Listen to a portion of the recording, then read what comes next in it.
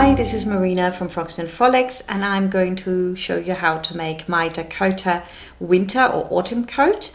It is actually from age 2 to 12 so you can make it teeny, appropriate or really cute for your little one. For the lining I've used a beautiful quilted fabric and that will keep her nice and warm. The upper material is merino and cashmere mix, so very light and it's going to be keeping her very warm. Or it did actually, she wore it all last winter.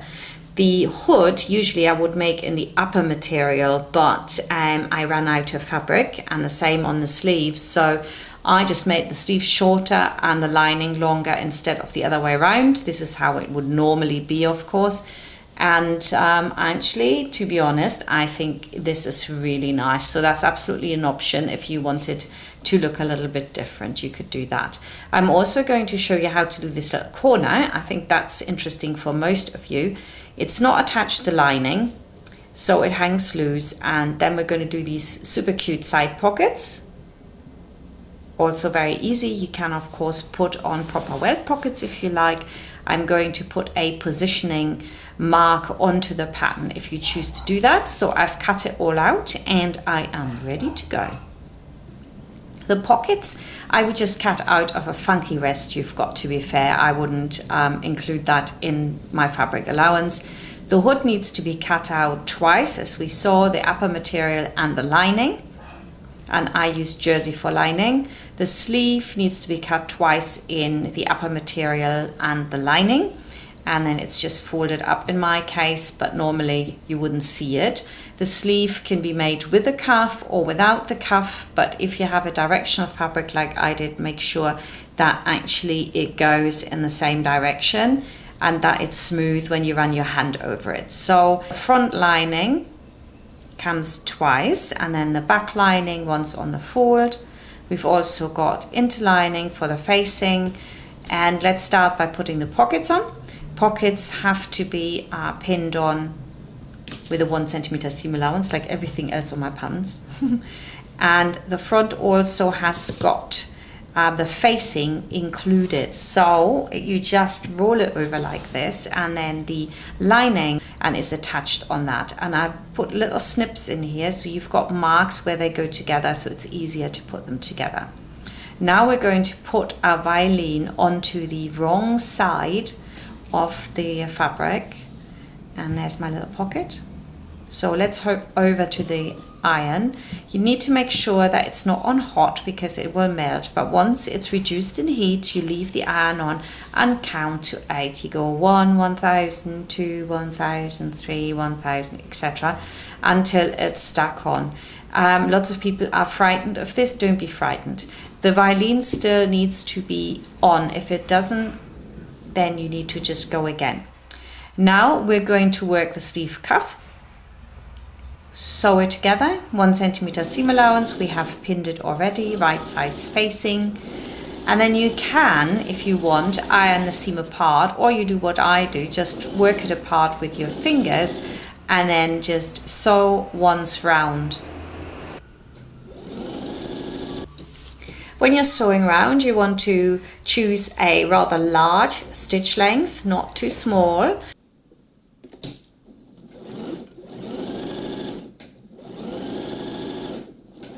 And now we are going to do the pockets. So sew those in, again, same seam allowance. And then you just simply roll the fabric over and top stitch it all the way down.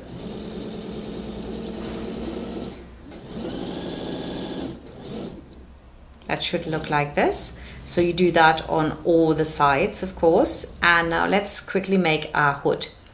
So you get your hood, which would be in the upper material, and this would be in your lining or contrast. And we're pinning it on, and then we're simply tucking in the edges. And the eyelets are going to go through that stuff. So make sure that when you pin it in, that both sides are exactly the same. In my case, that was a little bit more difficult because I'd run out totally out of fabric. I literally had like a few centimeters left here and there, little snips. so now we're going to top stitch this as well. Again, don't go too close to the edge and also use a large stitch length.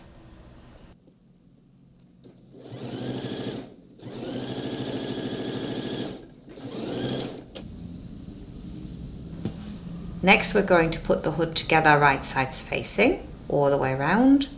Make sure that the edges are on top of each other and line up. Of course, instead of the hood, you can do the um, collar. The collar also is quite easy to do. There's nothing hard about it. Now we're going to work the eyelets. You want to mark where the eyelets go and then make sure that you turn over one centimeter here. That's real important because there is a seam allowance and you want the eyelet to be in the center. In fact, you can go two millimeters closer to the inside edge um, and then it'll be absolutely perfect. That's because we're going to do understitching. Take your tool and put it underneath it to cut out the hole. You can do other tools as well, but this was the one that usually comes in the shops. I'm not a great fan of this, but in this case I didn't have anything else ready, so there you go. And then I'm going to put the upper part of my eyelet on and then I put the ring on over that and put my tool back over and hammer it down. I don't really like those too much because they're always, always flatten out. They're never really that pristine um, as they are with other tools. So, but still, if that's what you got, then it's a cheap way to do it. Next, we're going to also close the jersey and you can also top stitch that just to one side if you wanted to. I didn't do that, I just gave it a press. And then right sides facing, you put the lining onto the upper fabric and sew it together. And now you can see why the eyelet needed to be like that little centimeter further over because of that seam allowance. Fabric will always push when you're working with two different types. So use a pin to help you out. Don't let it push down and say, oh, my mine is too long. I'm just going to cut it off at the end because that is not going to work. It's going to distort the whole shape. And then we're doing the understitching. That means the our seam allowance is now facing into the lining and we're going to top stitch over the top of that. Turn it over. No need to iron this at all, but you could do if you like. And then you top stitch it, not too close to the edge. And because we've understitched, we now move over a little bit more. And that means that the eyelet is uh, no longer quite central, which is why I said maybe you want to go over one more centimeter to the other side.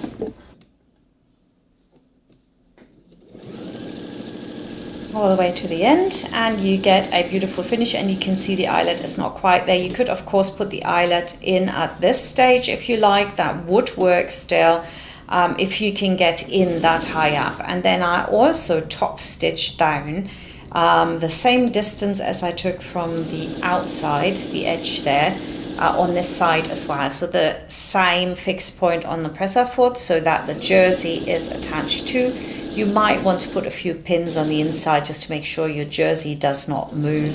If you have never done this before, then give it a good press. You can see the eyelet is slightly uh, over in mine because I didn't think about the understitching. So now we're going to have to do a whole lot of overlocking and look at Magdalena's little face. She goes, hmm, yes, this is how I feel when I have to do lots of overlocking. You do all the sides and when you come around the pocket, you need to make sure that you turn off your knife so that you don't cut into your fabric. And then you come round and you can actually go right in there. If you don't disable your knife, you're going to cut into your fabric. Go all the way down and see how beautiful that is and you do that on all the sides regardless of whether you have lining or you have your upper fabric or the sides. You can also do of course the shoulders. And the one thing that um, is a good thing to do is come up one side do your shoulders and straight away don't even cut it off save your thread and go down the other side. That's just a habit I would get into. Now we're going to work our little sleeves we're just closing them with the right sides facing each other, making sure that the cuffs line up.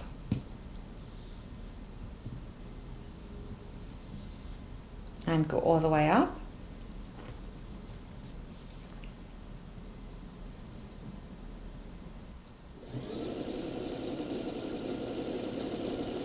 Oh, they're so nice. Do the same on the lining, of course right sides facing try to do it without pinning it because really it doesn't need it.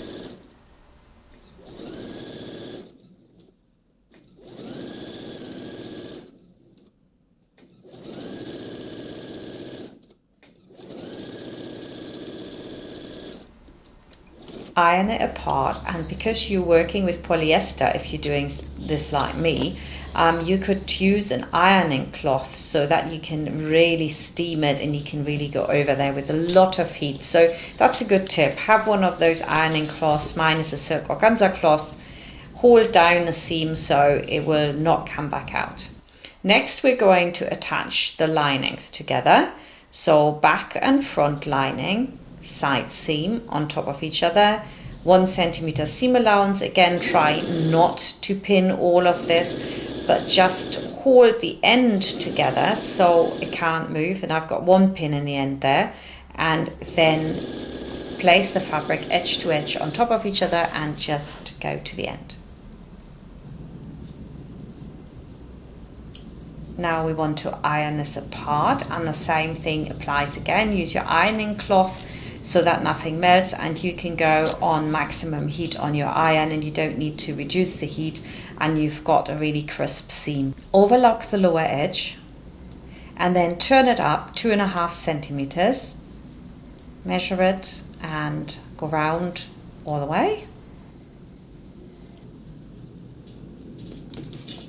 And then we're going to stitch it down from the wrong side. Find a fixed point on your presser foot uh, or your needle plate as well, obviously, to line it up and then go all the way. Now we're going to interface on the side seam. Now really you should be doing this um, before you start and in my written instructions it will say that if you have got fabric like mine here which is well really soft then this is quite important so that nothing rips out and it sits pristine that pocket because it is going to get a lot of use isn't it so there is a pattern piece for this, of course, by now in the pattern. Um, but here I didn't have one. It's kind of an afterthought. And then I'm ironing this on. It doesn't look very nice if it's not caught in your overlocking. But there you go. If you use denim, you might not have to do it. Now we're going to put the front lining onto the front facing. So you line up your snips all the way to the top and right sides facing and sew it together. And you can see how much shorter the lining is now. Line up the front, top, and just work your way down. It's always easier to actually start on the hem to sew up, but of course one of them you couldn't. And that's how it's going to be folded up. So all pinned in. I'm just checking all looks good, right? So let's sew this together. I'm coming up here on myself, snip on snip, and I'm always using my left hand to hold the fabric in place. When I take the pin out, you can see I'm really holding it down. There's a lot of muscle strength involved in those little hands. And move it so you get that centimeter seam allowance. Now we're going to overlock these together so they're nice and neat. You could top stitch this edge as well. Um, I would almost recommend that, especially if you're working with thicker fabrics because it holds it down a bit. And now we're going to close the shoulder seams and we are effectively now joining up everything. So you're ending up with a big circle of coat, basically. There is no beginning and there is no end.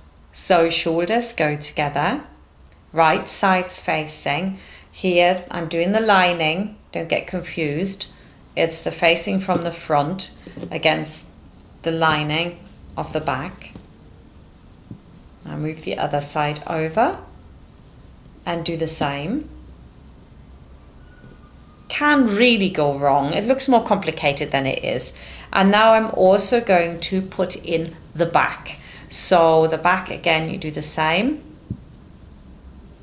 Right sides facing, pinning it, and then we're going to sew them together.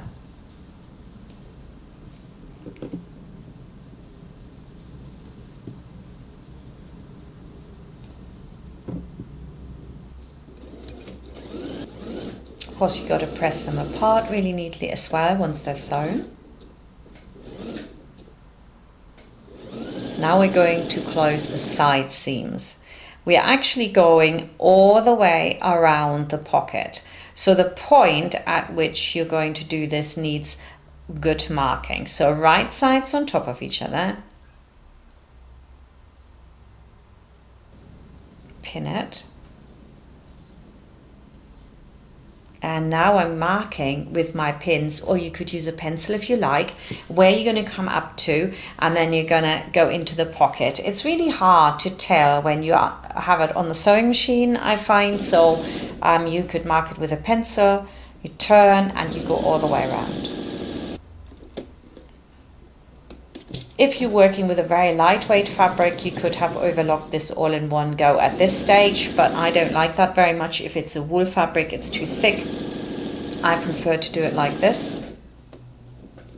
So there's my mark, and I'm putting my needle down, presser foot up, flip it round, and then go down the other end, making sure that that tip is actually sewn in, yeah? Next, I'm going to snip so I can literally, um, you know, have those ironed apart.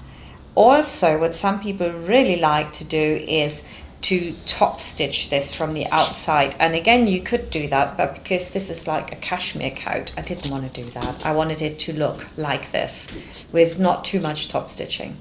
Uh, you could also put a little triangle there. And then I'm going to overlock it all the way around the lower part. Next we're going to put the hood inside the coat so we're lining up the front of the hood with the facing and the side seams um, with the notches that you've cut into the back of the hood. So you find the center back of the hood, you find the front and you put that right in where the facing is and you pin it from one side to the other. So it's pinned basically to the upper part of the coat, yeah? So not to the lining, the upper part. And I would also suggest you put lots and lots of pins vertical to the seam here because it tends to fold over. So you want to make sure that that doesn't happen and you just keep pinning it and you can leave those pins in and you can also put a few in so that your seams don't roll over while you're sewing. And then you take the lining and you put that over the same way. And now it's sandwiched in between. And I'm moving my pins out and I'm just putting them back in. You could of course stitch that in first but I just like to do it like this. It's fine. You only need one stitching line.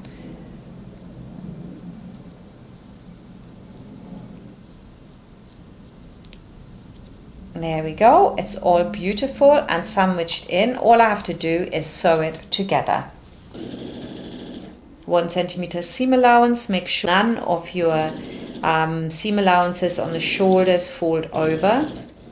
And look at my little mod model here rocking her cool stuff.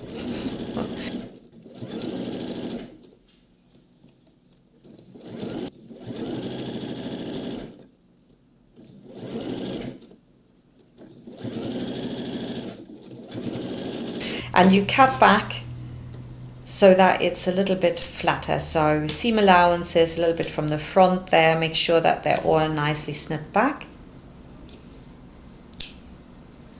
And then you snip it in the curves as well. And now we can work that corner at the lower part, at the hem of the coat. So you've got your coat, right sides together, fold it over,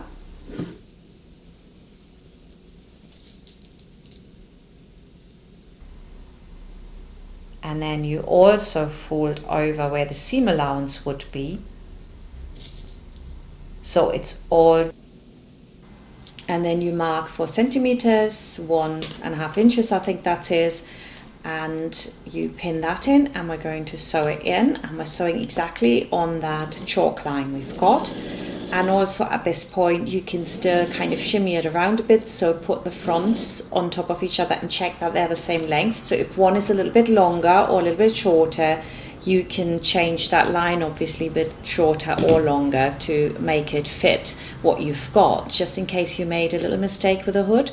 And then you can turn it so we've got the right side to the outside work out the corner and turn up the rest of the hem, pin it all the way around in. Of course, that's four centimeters as well. Just want to point out that the pocket here is caught in the coat and in your pattern, it will not do that. This was my first sample that I've made and I thought oh, I might as well film it now. And um, so uh, I didn't realize that the pocket was actually that low. So yours is not being caught in it. So then we want to use a slip stitch to put it all in.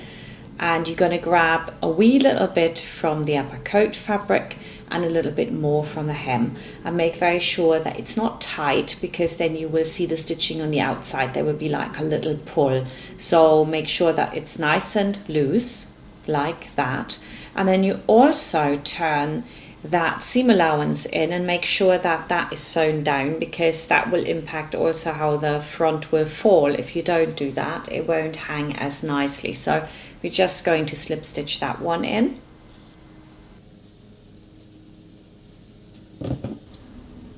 Now we're going to do the sleeves and you've cut them so you've got the mirror image and when they're put together, which we already done, they should look like this. You have two snips which face the front and then I would suggest you put a basting thread or gather thread all the way around the sleeve head and then you pull it and you steam it in to get rid of the excess so that it's easier to be put in.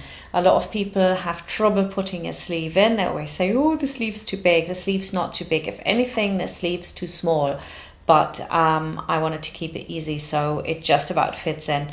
Um, you need to find the snip that faces the front like that. And then you put it on your arm. That's how I do it anyway. Because I know this is now the front I go through and then I place my seams on top of each other. Okay so right side on right side the underarm seam on the sleeve seam and I pin it all the way around. First you put a pin on the seam and then you put a pin at the very top and then you hold in the fabric here around the sleeve head area only. That's about four centimeters to the front or five and five to the back. And that is when you sew it in, totally easy if you've steamed it in, there's not a problem. If you do it like I do, then um, it will give you a few problems unless you've been doing it like lots of times like I have, then it's okay. And look how cute my little model Tina is there. Isn't she fabulous? Anyway, um, I check my sleeve and it falls nicely towards the front. If your sleeve hangs towards the back, then you're putting the wrong sleeve in. You do the same on the lining. So make sure though that you put the right sleeve in there because um, it's of course going to be exactly the opposite to the upper sleeve on that side, okay? So make sure that again the snip in the front faces the front. and then you pin it in same way. This is not going to be so easy. On the lining I would definitely have a basting thread in there and then we're sewing them together on both of them. Now make sure that you don't let the sleeve fabric slide over the edge because it will want to do that um, so that it's easier to put it in and then snip it back at the top because you will ruin your sleeve. You have to get it in. And if that means you have to steam it a little bit more then so be it. You can see I'm holding back the fabric making sure that it goes in. You need some fabric to roll over that shoulder. The shoulder isn't flat. It's a 3d thing. So that's why you have that excess and you need it. Um, you can see here it's a tiny bit of a struggle not too much but if I do it again, I'd steam it in myself as well. I just, I think I was very tired. Uh, it was very hot in my room. I was making a winter coat and I really wanted it done. So that's why I missed out that step. So use a pin, help yourself out, holding the fabric in place, work your way all the way around so that all the excess is still in there.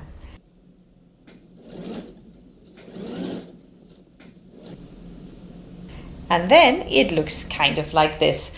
On the left hand side, this is what I did on Magdalena, and on the right hand side, this is what it would look like normally. Of course, you'd also have a cuff line there, stitching line, if that's what you did. So let's just finish off the cuff now. We need them to go together with the right sides facing, so you can turn it inside out completely and do it. Now you want to grab the seam allowance of that outer fabric and you just turn it in and pin it to the lining. So now you know where it needs to go. Then you can turn the whole thing inside out and you can just sew them together. Now let's have a look at what that looks like in the fabric. I take my sleeve so it's um, how I want it. I know which bits go together and then I just fold them in on each other so that we've got the seams on top of each other and the um, right sides facing. And then I'm going to go and pull this through to the inside. So now I know these have to go together and I'm absolutely certain that I have no twist in it because I did it from the outside. Then you really tuck in the lining and you stitch it. You can take that pin that marked it for you back out and pin it. So I think sometimes the theory of how you could do it and how you then actually do it is slightly different. So um, whichever way you prefer. I've pinned it all the way around. You can see it's like a big circle. That's how it needs to look. And tuck in the lining so that you can get it under the sewing machine. And now we're going to go all the way around. Keep holding it in, tucking it in and sewing around. And I have to say, Anna has got her modeling groove on here. Look at that. She's showing us that beautiful lining. I think it's so nice when you use a fabulous contrast on a coat like that. You won't get that in a shop, will you? So pull it back out and in my case the lining sticks out underneath it but that's only because I didn't have enough fabric.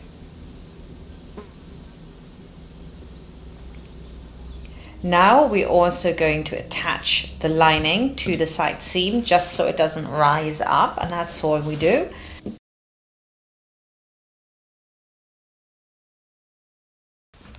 Now we're going to do everyone's favorite, the buttonholes.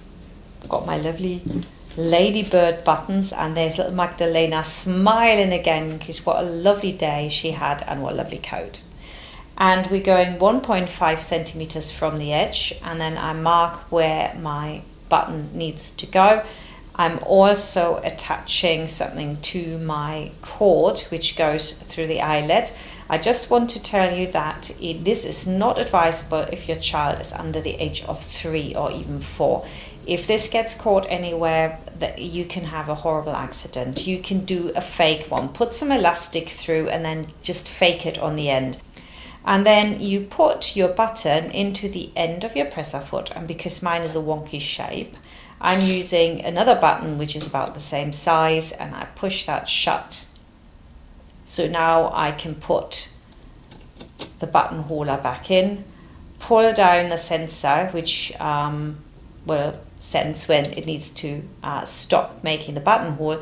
One thing these sensors do though, if you touch them like I just did now, um, and I hadn't noticed, and in all fairness, my buttonhole stopped um, halfway through. So um, the best thing to do is to turn off your machine and then turn it back on and reset it because if you touch that sensor by chance the buttonhole will stop halfway through and it's really annoying to undo it. Also pull your fabric a little bit with your fingers simply because no matter how good your machine is, if you have very thick fabric, it's not an industrial buttonhole maker, so it will need a little bit of support. Um, you are pulling it or just helping it along basically. on my Pfaff machine it works quite well. I have to say this is really good. I prefer the mechanical Pfaff machine for the buttonholes because you don't have that silly sensor. Now I'm going to open up my buttonhole with a quick unpick and then I get in with my scissors and I cut to both ends right into the end and then I can button them up see where my buttons need to go and I just sew them on. I hope you enjoyed watching making the Dakota coat and you can do it yourself. You can make it with a collar or you can make it with a hood and there are numerous videos for that so just click on the playlist under the info button and it will take you to the playlist where you find also the video which introduces you to the pattern and all the options you've got with it. So thank you for watching again and I'll see you next time. Bye!